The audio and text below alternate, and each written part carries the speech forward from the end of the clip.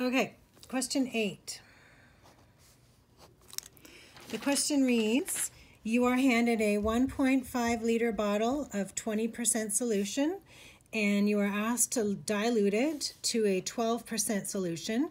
And how much water do you end up add, adding in total to take all of this and turn it into this concentration?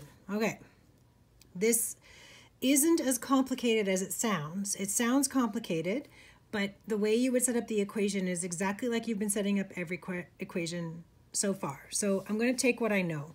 And what I know is I have a 20% solution, which is 20 grams per 100 mils, and I know that I have 1.5 liters of it. Well, because this is in a milliliter fashion, I think that it's best that we convert it because math likes to have the same unit. So this is the same thing as saying 1500 mils. So I'm going to say I've got uh, a 20% solution or 20 grams of 100 mils and I have 1500 mils of it. So times, right?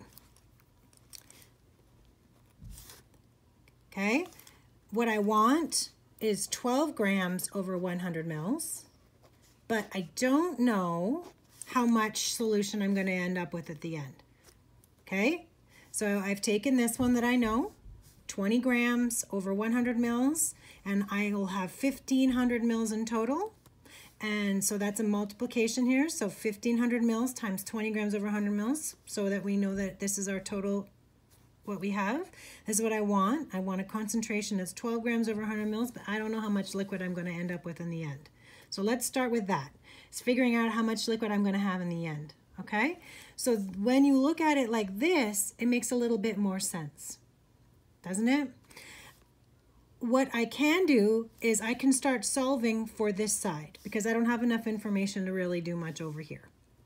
So if I want to solve for this side and I don't want to do any extra conversions, then I'm going to say 20 times 1500 is equal to 30,000, right? And it's grams over mils over 100 mils, okay?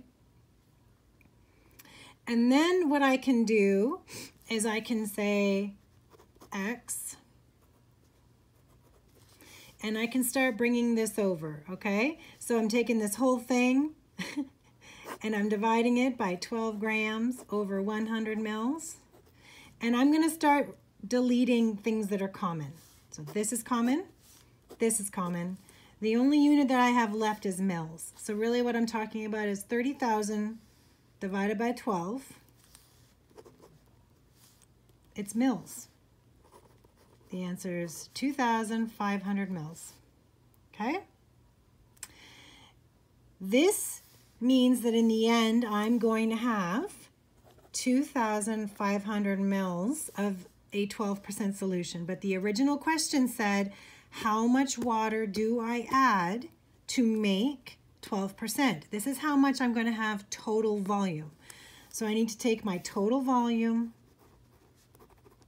and I need to subtract what I originally had to end up with the difference, which is the amount of water I needed to add to make this happen.